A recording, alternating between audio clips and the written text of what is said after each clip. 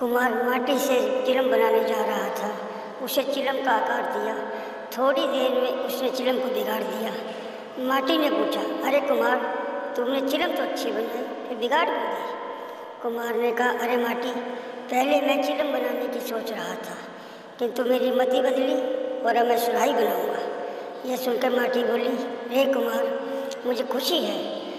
तेरी तो सिर्फ़ मति बदली है, मेरी तो ज़िंदगी ही बदल गई।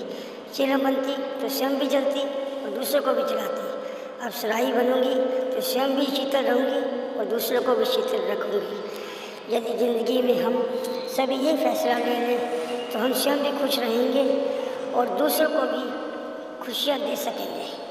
धन्यवाद।